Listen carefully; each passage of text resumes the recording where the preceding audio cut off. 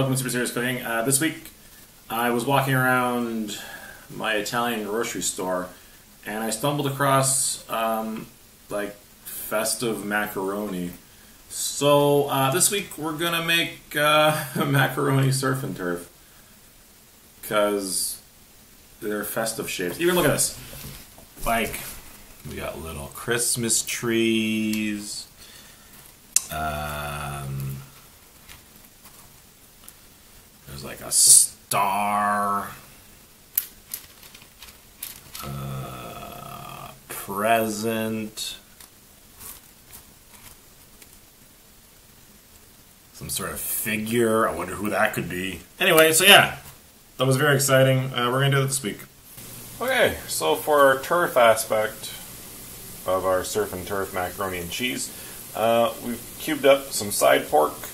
Uh, what we want to do is put it into a pan and we're going to get it cooked. And then after that, we got a pot of water. And we're going to put that on so we can get our pasta to boil. So your bacon's now all cooked. What you want to do is grab some butter, cube it up, throw it back in the pan, and uh, wait for it to melt. After it melts, we're going to add some flour to make a roux. Then we're going to grate some cheese, put that in there, and I haven't decided whether or not we're going to use some table cream to thicken things up. But I'll decide later. Or I'll forget, and we won't. Okay. Our butter's melted.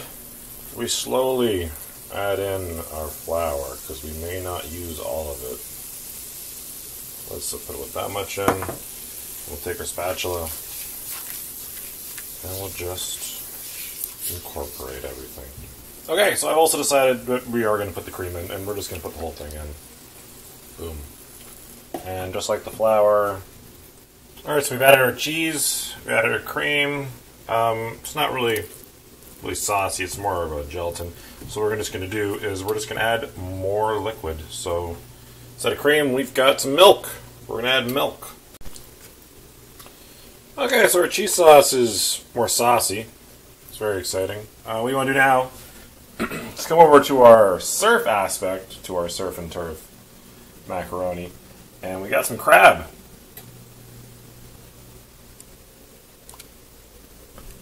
That uh, we're just gonna cut up, gonna cut up, break it apart, and we're gonna put it in there along with that, and then maybe that will boil eventually.